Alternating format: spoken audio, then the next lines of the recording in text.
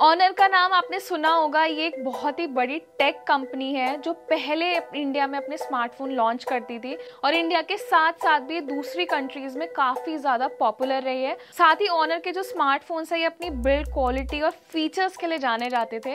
लेकिन कुछ समय पहले कंपनी ने अपने जो फ़ोन्स हैं, उनको डिसकंटिन्यू कर दिया था। लेकिन अच्छी खबर ये है कि जितने भी ऑनर फैंस हैं इंडिया में, उनके लिए अब अब कंपनी वापसी करने वाली है और माना जा रहा है कंपनी इंडिया में अपना एक लेटेस्ट स्मार्टफ़ोन लॉन्च करेगी और इसको लॉन्च किया जाएगा ऑनर 90 के नाम से। हालाँकि ये अभी लीक स्पेसिफिकेशन है, इसे लेकर कोई ऑफिशियल जानकारी सामने नहीं आई है, लेकिन बहुत सारे जो फ़ोन के स्पेसिफिकेशन है, वो सामने आ रहे हैं। और इसे लेकर एक और अच्छी बात ये है कि सेप्टेम्बर में, यानी कि एक महीने बाद यानी कुछ समय बाद ही इंडिया में ऑनर 90 को लॉन्च किया जा सकता है और इसी साल कंपनी अपना जो स्मार्टफ़ोन है, उसकी पेशकश कर सकती है, वो भी इंडिया में।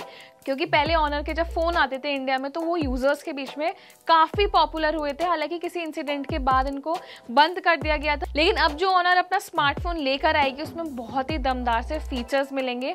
और इसके जो कुछ हाईलाइटेड फीचर्स सुनने के लिए मिले, उसमें सबसे पहला फीचर इसके कैमरा को लेकर। तो कैमरा को लेकर आजकल इतना ज़्यादा हाइप हो गया हर कोई एक अच्छे कैमरा वाला स्मार्टफ़ोन खरीदना चाहता है।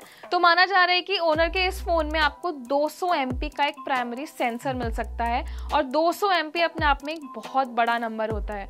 और आज के टाइम में ऐसे बहुत ज़्यादा स्मार्टफोन्स नहीं हैं जो कि 200 सौ कैमरा के साथ आते हैं। तो मुझे लगता है कि ओनर इस स्मार्टफ़ोन के साथ इस सेगमेंट में लीड कर सकता है।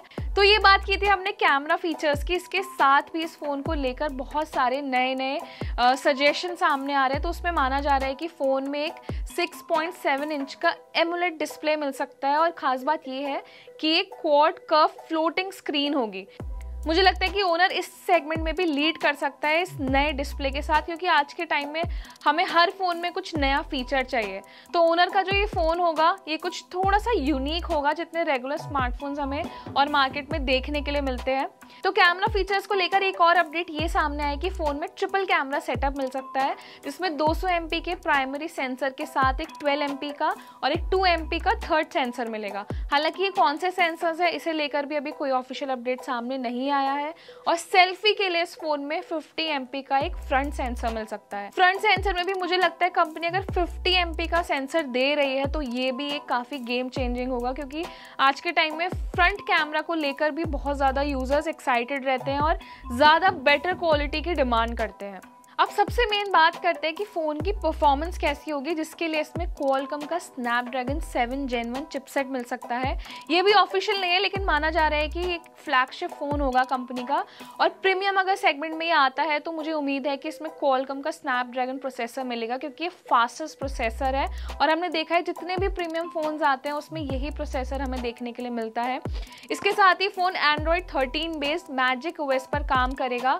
और इसके अलावा इसमें पाँच हज़ार एम की बैटरी मिल सकती है जो कि 66 वॉट के फास्ट चार्जिंग सपोर्ट के साथ आएगी। सो so, ये जो सभी फीचर्स हैं ये एक अनुमानित फीचर्स हैं यानी कि ये लीक्ड फीचर्स हैं अभी तक ऑफिशियल नहीं किया गया है लेकिन माना जा रहा है कि अब जो फ़ोन्स आ गए ना मार्केट में उसमें बड़ी बैटरी फास्ट चार्जिंग सपोर्ट एक हाई मेगा वाला कैमरा ये सारे फीचर्स जो है बेसिक हैं। लेकिन ऑनर हमेशा से अपने जो स्मार्टफोन्स है ना उनको यूनिक और दमदार फीचर्स के साथ तैयार करता है। तो इसीलिए जो ये सारे फीचर्स हैं, मुझे लगता है कि अगर ये सब आपको इस फ़ोन में मिलते हैं तो एक बहुत ही पावरफुल स्मार्टफ़ोन होगा। अब बस देखना ये है कि कौन से प्राइस ब्रैकेट में कंपनी स्मार्टफ़ोन को रखेगी। तो मैं भी काफ़ी ज़्यादा एक्साइटेड हूँ ऑनर के इस कम बैक के लिए और इंडिया में अभी भी बहुत सारे यूज़र्स हैं जो ऑनर के फैंस हैं और लंबे टाइम से इसके कम का वेट कर रहे थे। तो ऑनर के स्मार्टफ़ोन को लेकर आपका क्या ओपिनियन है? या फिर ऐसी कोई इन्फॉर्मेशन जो आप इसके बारे में जानते हैं तो हमें कॉमेंट सेक्शन में ज़रूर बताइए।